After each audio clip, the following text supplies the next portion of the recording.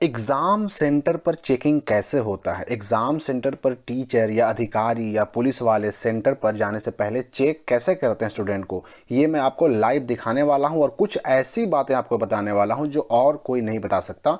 और इन बातों का अगर आप ध्यान नहीं रखते हैं तो एग्ज़ामिनेशन सेंटर पर जा कर के आपको बहुत सारी दिक्कतों का सामना करना पड़ सकता है। तो सबसे पहली बात तो याद रखिए कि जैसे ही आप सेंटर पर जाएँगे, सबसे पहली चेकिंग जो होगी आपकी मेन गेट पर होगी। और मेन गेट गेट पर जो चेक करते हैं चेक करने वाले लोग होते कौन हैं?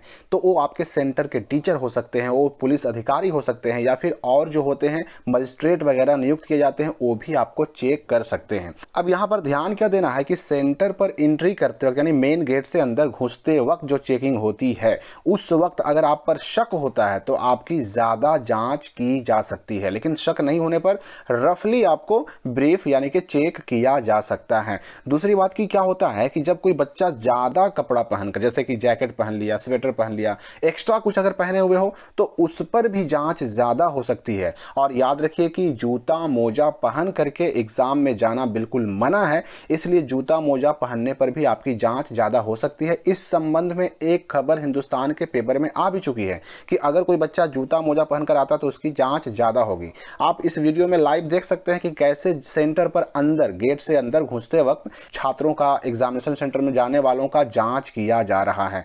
अब है कि देखिए, एक जाँच तो हो गया मेन गेट पर, दूसरी जाँच जो होती है, वो आपके अपने कमरे में होती है। लेकिन मेन गेट पर जाँच की बात अगर हम करें तो मेन गेट पर आपको जो है सर से पैर तक कहीं भी चेक किया जा सकता है और सबसे ज़्यादा चेक किया जाता है कमर के आसपास, आगे और पीछे। क्योंकि कमर के आसपास छात्रों द्वारा ज़्यादा कुछ छुपाने के चांसेस रहते हैं। इसके अलावा पैरों में नीचे तक चेक हो सकता है, हाथों, दोनों हाथों को कलाइयों तक चेक हो सकता है, पेट पर, सीने पर, पीछे आपको जाँच किया जा सकता है। ये तो हो गया मेन गेट पर।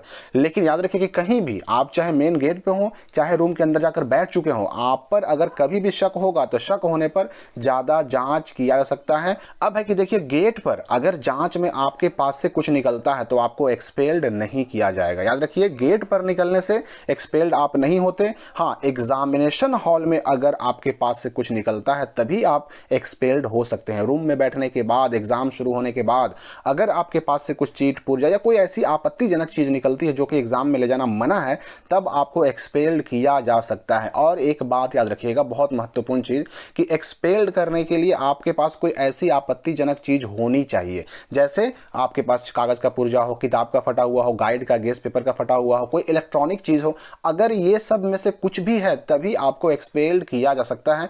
क्योंकि एक्सपेल्ड करने के बाद जो कॉपी आपकी या ओ आपका, जो बोर्ड को भेजा जाता है, उसके साथ एक प्रूफ लगाना होता है कि आपको आखिर किस लिए एक्सपेल्ड किया गया, आपने ऐसा क्या किया, वो आपत्तिजनक चीज़ क्या थी? जैसे प्रूफ के रूप में आपके साथ, आपके कॉपी के साथ, यानी ओ के साथ आपका जो चीट पुर्जा है या किताब का फटाफट टुकड़ा है, वो लगाना पड़ता है। तो इसलिए अगर ऐसा कुछ नहीं निकलता तो आपको एक्सपेल्ड नहीं किया जा सकता है। दूसरी बात कि जो सेंटर के लोग होते हैं, जो टीचर जो वहाँ पर आपके वीक्षक का काम करते हैं इन्विजिलेटर काम करते हैं, उनसे आपको एक्सपेल्ड होने का डर नहीं है। जनरली सेंटर के लोग एक्सपेल्ड नहीं करते। हैं। सेंटर के लोग ज़्यादा से ज़्यादा ये कर सकते हैं कि आपको डांट डपट कर सकते हैं, आधा घंटा, एक घंटा कॉपी छीन करके बैठा सकते हैं, लेकिन एक्सपेल्ड जनरली वो लोग नहीं करते हैं। तो एक्सपेल्ड करता कौन है?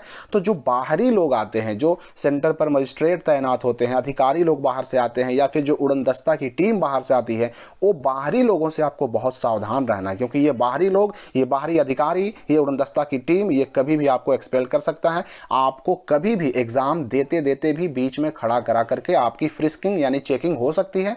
आपको चेक किया जा सकता है और आपको एक्सपेल्ड भी किया सकता है अगर कुछ आपत्तिजनक निकला तो। तो इस बात को बिल्कुल याद रखना है कि सेंटर पर आपकी चेकिंग कभी भी हो सकती है। अगर कभी भी आपकी एक्टिविटी से, गतिविधि से ऐसा लगा, किसी को शक हुआ तो कभी भी आपको खड़ा करा करके आपको चेक किया जा सकता है और आपत्तिजनक चीज़ों को ले जाने की स्थिति में एक्सपेल्ड भी किया सकता है। अब ये आपत्तिजनक चीज़ें हैं क्या? क्या क्या सेंटर पर ले जाना है? सेंटर पर क्या क्या नहीं ले जाना है? इसके बारे में विस्तार से हम अगली वीडियो में बात करेंगे। फ़िलहाल इस वीडियो में आपने देख लिया कि सेंटर पर चेकिंग कैसे होती है। फिर भी अगर कोई सवाल आपके मन में बच जाता है तो हमारे वीडियो के कमेंट बॉक्स में पूछ सकते हैं। धन्यवाद दोस्तों, मिलते हैं अगली वीडियो में।